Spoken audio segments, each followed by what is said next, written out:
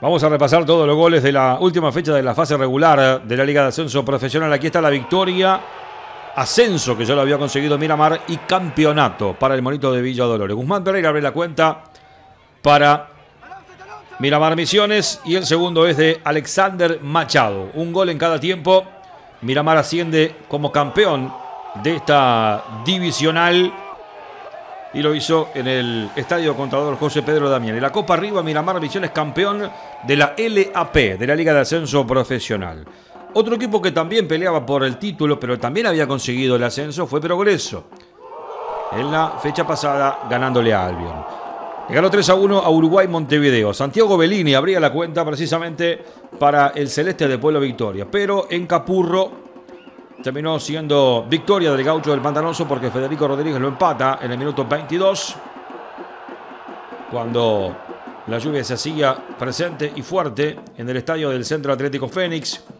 Joel Poiso, ahí está buscando la pelota y mandándola al fondo del arco. Y colocando el 2 a 1. Y el patita, Federico Millacet, a 10 minutos del final, va a liquidar las acciones. Pero eso termina también ascendiendo y volviendo a la primera división del fútbol uruguayo en la temporada 2024. Y ahí está también la entrega del trofeo para los conducidos por Carlos Canovio. Seguimos con el repaso y un partido que tuvo mucha incidencia, sobre todo como se terminó dando, fue el de Oriental y Tacuarembó. Luis Aguiar abría la cuenta.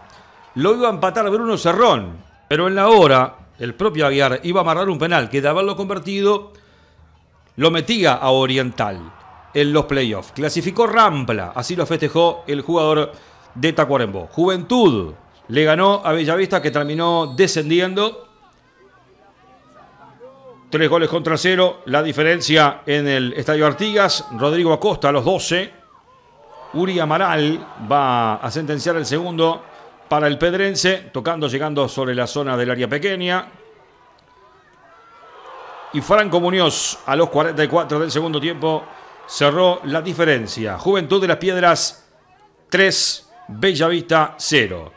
Y vamos a la goleada de Rampla Junior, que le hizo 5 a Cerrito, jugando en el Estadio Olímpico. Norman Rodríguez a los 8 minutos abre la cuenta. Va a llegar un doblete de Gonzalo Barreto. El primero a los 27. Ahí está definiendo cejado contra un palo.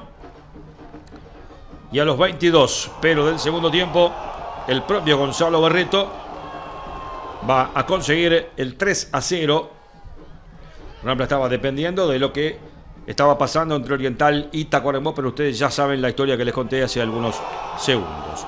Doblete de Maximiliano Añasco. Vean el futbolista de Rambla como se termina cayendo sobre el fondo de la pantalla, pero se levanta, asiste, toca al medio y aparece Añasco definiendo de esa manera.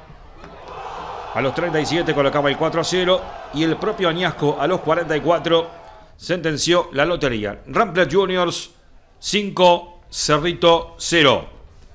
Cerramos con la victoria de Atenas 3 a 0 ante el otro descendido que fue Potencia. Esto fue en el campus. Atenas termina ganando por tres gritos de diferencia. Matías Britos abre la cuenta.